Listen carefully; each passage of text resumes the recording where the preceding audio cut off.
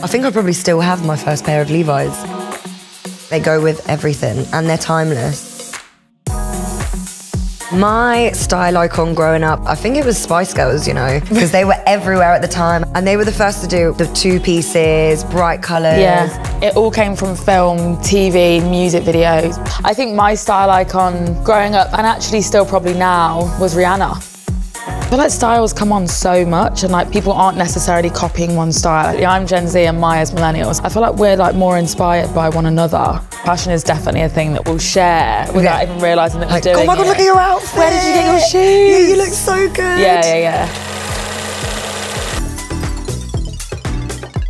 My mum is super colourful and like she's always worn whatever she wanted.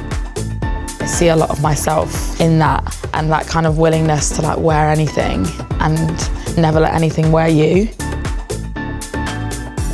My mum used to say buy cheap, buy twice. To me, you're buying something worth it and affordable.